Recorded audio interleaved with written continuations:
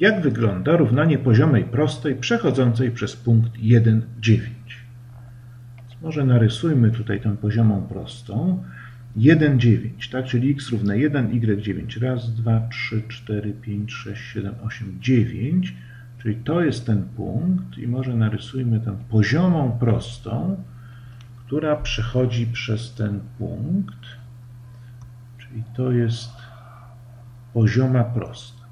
No i jak wygląda opis punktów, jak można podać równanie prostej, która jest pozioma i przechodzi przez ten punkt 1, 9.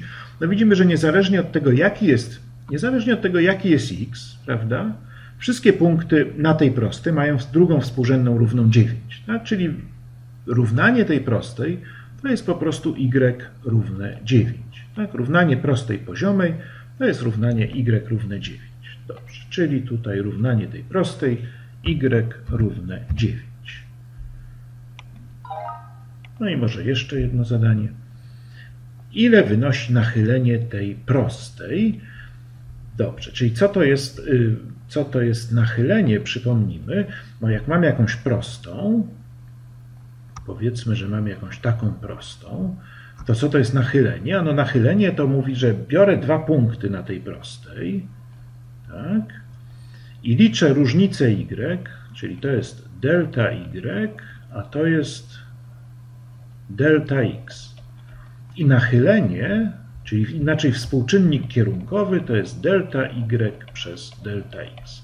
No i teraz niezależnie od tego, jakie dwa punkty na prostej różne wybiorę, to, to, to jest, to tak liczę, to jest, to jest współczynnik kierunkowy, czyli inaczej nachylenie tej prostej. No dobrze, teraz skoro prosta jest pionowa, no to co, to niezależnie od tego, jakie dwa punkty wybiorę, to delta x jest zawsze 0, no, czyli zawsze ten mianownik jest 0. Czyli prosta pionowa nie ma nachylenia. Jest to jedyna prosta w układzie współrzędnych, która nie ma postaci kierunkowej, czy też inaczej mówiąc, nachylenie jest niezdefiniowane. Czyli dla prostej pionowej nachylenie jest niezdefiniowane. No i może kolejne zadanie. Hmm. Jakie to jest? Zapisz równanie tej prostej. No właśnie. To jest jakby przeciwna sytuacja do tej, co tu mieliśmy. To nie jest prosta, prosta pozioma, tylko prosta pionowa. No jak mam jakąś prostą, prostą pionową, no to prawda, niezależnie od tego, który punkt wezmę, no wszystkie punkty na tej prostej no, są scharakteryzowane, tak jak tutaj, jeżeli to jest punkt 3, to taka prosta pionowa no, to jest dana równaniem x równe 3. Prawda? Y jest dowolny i dla każdego Y punkt, wszystkie te punkty leżące na tej prostej mają współ, pierwszą współrzędną 3.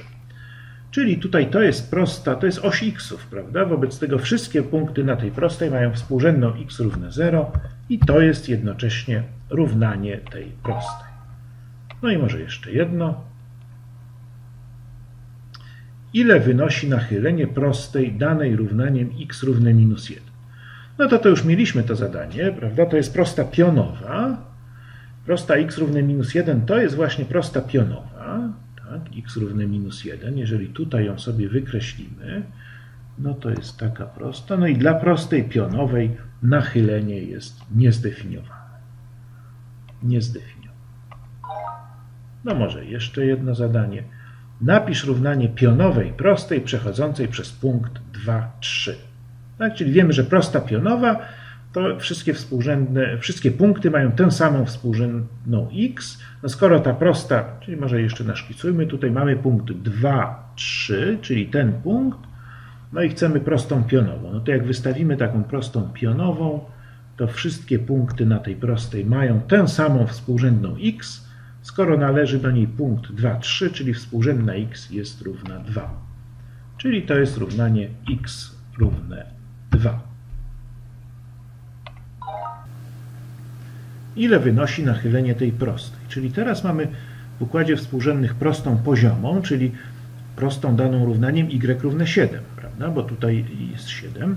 No i teraz ile wynosi nachylenie takiej prostej poziomej? No to jak sobie przypomnimy, co to znaczy nachylenie, prawda? Bierzemy dwa punkty na prostej i dzielimy zmianę i różnicę y przez różnicę xów. No ale skoro mam prostą poziomą, no to wszystkie punkty mają tę samą współrzędną y, czyli w tym ułamku delta y jest zawsze 0. Wobec tego nachylenie prostej poziomej jest 0.